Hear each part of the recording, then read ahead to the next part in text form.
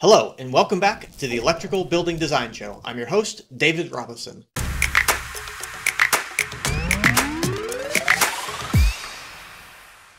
Today I want to talk to you about the new features in Revit 2024 from the perspective of an electrical engineer.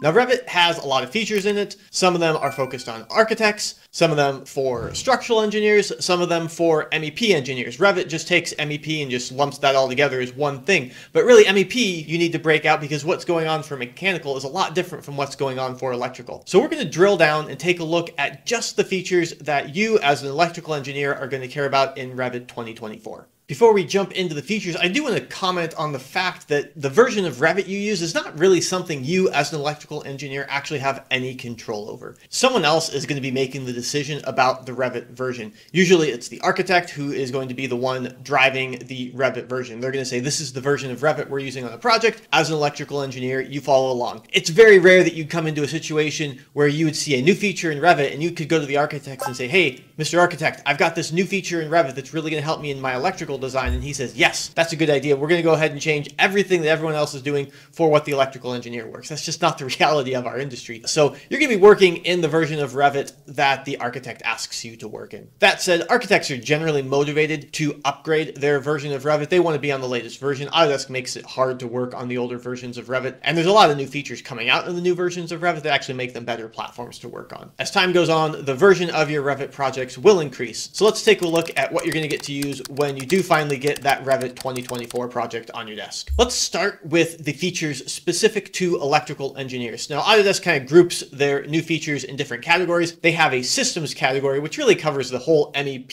ecosystem. We're going to drill down and take a look at what they've added specific to the E portion of that. So what electrical engineers are going to be caring about. All the new features in Revit 2024 for electrical engineers are related to their electrical analysis tool. So going down the list that Autodesk published, they added demand loads, they added some demand factors, they added non-coincident loads, and they improved the performance of this feature. Now, all of that is not going to make a whole lot of sense unless you're actually using the electrical analysis tool. These changes are the second iteration of the electrical analysis tool, and they really only make sense in the context of what that tool is doing. So if we step back to take a look at the bigger picture of that feature, this is a tool for doing your electrical load calculations before you have your building modeled. The idea is that generally in your workflow, you don't start by placing panels on a floor plan. You're starting to think about your transformers and your your one line and the pieces of equipment, and you probably don't even have a model from the architect yet. So you're putting together the preliminary design. So they call it the electrical analysis for preliminary design. So this is all the stuff you're doing before you've got a background for the architect. So you're starting to think about what the size of the building is going to be, so what that load is going to correspond to. The typical workflow for most engineers is that you're actually doing this in Excel. You have an Excel spreadsheet that you've built up over the years where you're laying out all of your loads, and you can use that before you have anything from the architect to do your design. The idea for this feature is to take all of those calculations and move them into Revit, which from a building information modeling perspective for electrical design is probably a good idea.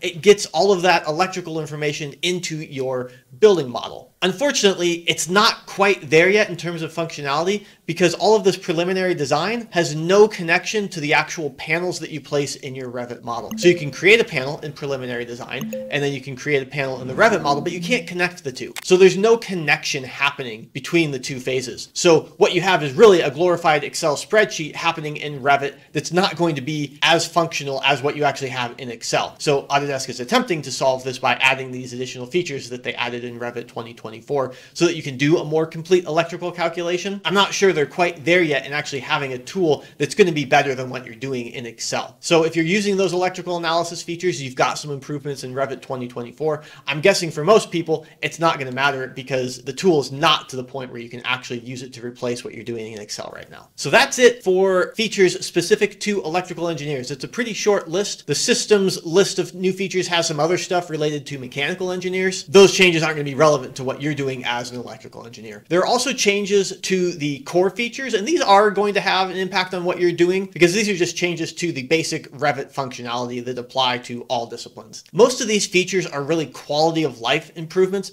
They're taking the existing features and kind of cleaning them up, uh, either improving the functionality, just taking what, what is there and making it work a little better, or taking things that didn't work terribly well and fixing that. You can quibble over whether those are bug fixes or not, but they're taking something that wasn't as well put together as it could have been and they're improving it. So if you're using these features, you're going to see the change. But if you're not using the feature, it's not something that would inspire you to use any of these new features. Revit 2024 is going to be a more user-friendly environment to work in. It's going to be more productive, but they're features that you're just going to naturally stumble upon as you're using the features that already exist. It's not going to be changing your workflows at all. That said, there are a few features that I do want to highlight just so that you're aware that they're there. First of all, they did make some changes to the project browser tab. This is a feature that pretty much everyone in Revit is going to be using, so I'm pretty sure that you're going to see these changes. They added a search option, so that's incredibly helpful because you have the long list of all of your views and schedules and everything else in that project browser. It can get really long. It can be hard to find what you're looking for.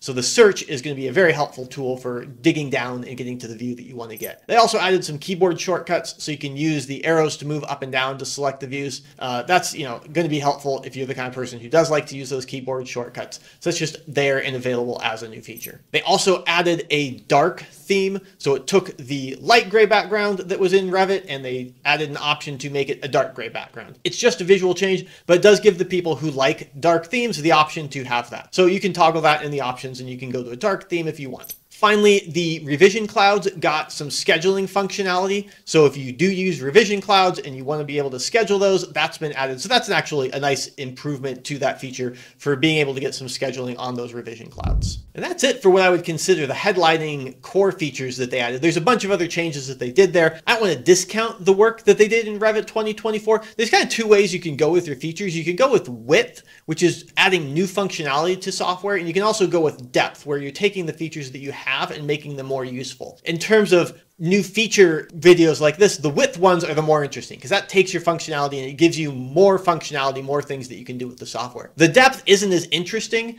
because it's taking what's already there and just making it work better. It's actually going to be super useful in terms of productivity, but it's just tweaking what you're already using. So you can use the software, your workflows will be exactly the same, just a little bit more efficient. That's what you have to look forward to in Revit 2024. If you're using those electrical analysis tools, you're going to have a little bit more functionality there. Uh, for most people, it's just going to be the quality of life changes that they made to increase the depth of the features that already exist.